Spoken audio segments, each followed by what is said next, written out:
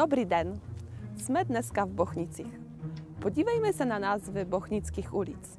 Je tady ulice Gdaňská, Štětínská, Mazurská, Hnězdeňská a nebo Hlivická. Vidíte nějakou spojitost?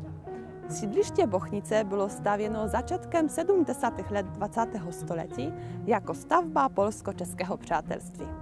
Samozřejmě šlo tady o přátelství dvou socialistických bratrských národů a tak některé z ulic byly pojmenovány po polských komunistech. Naštěstí po roce 89 změnili název. Místní obchodní domy nosí jména polských řek. Je tady Nisa, Odra a Wisla. A v Praze jsou ještě jiné dva objekty, které jmenují se po Wisle a Odře. A já jsem zvědavá, jestli víte, kde to je. Dám vám napovědu. Musíte hledat na Rašinově nábřeží. Řekněme si něco o polských městech, ke kterým odkazují nazwy bochnických ulic. A zaczniemy na ulicy Wratisławskie. Wrocław to město, do którego dostanete se z Prahy za niecałe 4 godziny. Wrocław swój název nese prawdopodobnie od czeskiego knížete Wratisława I. Není to ale jisté. Co je ale jisté, to fakt, że przez 400 lat, przesnie od XIV do XVIII století, Wrocław była miastem koruny czeskie. Od te doby je we wrocławskim znaku czeski lew.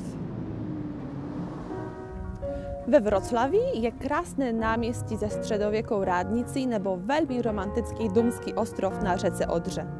Co je ale zajímavé, są to trapaslicy, neboli krasnale, jakim říkáme polski.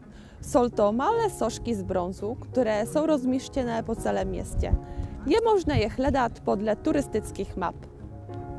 We Wrocławi je krasna multimedialnie fontana. Przedstawieni, które są zdarma, konají se od kwietnia do října.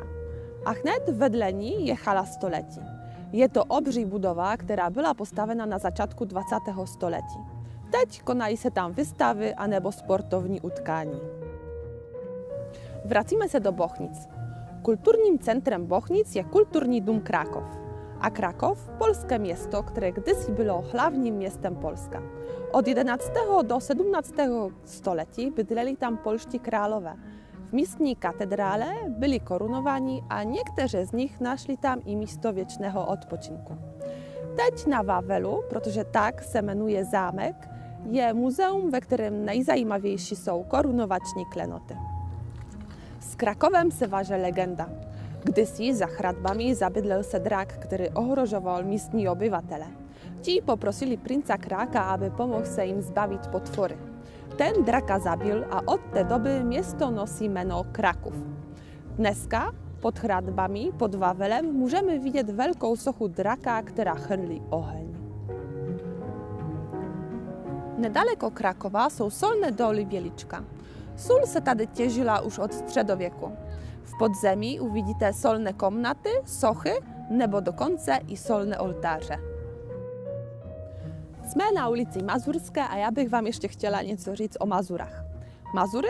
Cud natury, říkají Polacy, neboli zázrak přírody. A opravdu je tomu tak, protože na Mazurach je přes tysic krásnych jezer, które są propojene rzeczkami a kanalami, a tak pulku Polska możecie propluć na przykład na jachcie nebo na kanoe. Je tady i kousek pralesa, ve kterém bydlí zubři. Na Mazurek dnes skończymy. Ja Wam moc dziękuję za pozorność, a na widzieną przyjście.